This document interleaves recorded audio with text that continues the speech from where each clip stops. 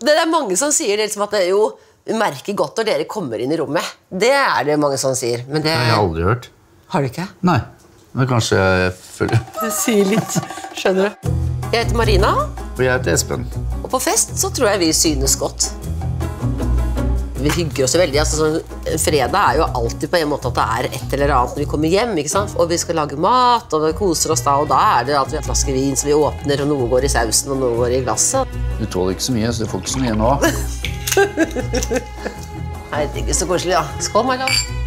Skål, da. Du må se på kona når Jeg du skåler. Jeg ser på deg, jeg. Men når du, når du, når du skåler Du, Hva syns du om de nye glassene jeg kjøpte på Fretex? Var ikke de kule? De er skikkelig sånn som vi alltid ønsket oss. det der. Ja. Jeg reiser jo mye. Du kjøper jo med meg eh, litt når jeg lander, da. Og da er jeg rask vet du, med å skrive melding at husk, husk, nå må du huske at du skal inn på taxfree-en. Ja, jeg forventer jo alltid når jeg går ut av flyet at det piper på mobilen med handleliste, da. Så sender du ofte kontrollspørsmål. da. Er det denne? Ja. Er det denne du mener? Søren, finner ingenting nå. Vi har jo litt sånn kallenavn på flaskene. Altså, en som er litt svensk navn, så heter flaska da Kjellåke, ikke sant? Og så er det russeren. Og så er det Sherry Sherry Lady. Det var alltid mamma som, kalte den. Husker du det? At det så det er, så det er, ja, så Espen får den lille handlelisten, da. Nei, jeg orket ikke det.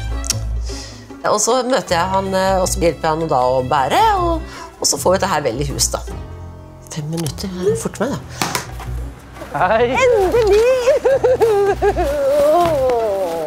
Takk. Skal vi ta posene? Å, gud. Fikk du kjøpt alt det du skulle, eller? Ja, jeg tror det. Jeg har kjøpt alt jeg fikk beskjed om. Ja, skål, da. Du, skål, da. Herregud, da. Vi har ikke noe sånt forbruk som gjør at vi føler at nå må vi dra i bremsen. Men det er klart at uh, kanskje denne reisen vi har startet på her nå, kan bevisstgjøre noe av det. da. At det kan hende at, det er, at vi, vi gjør for mye av det.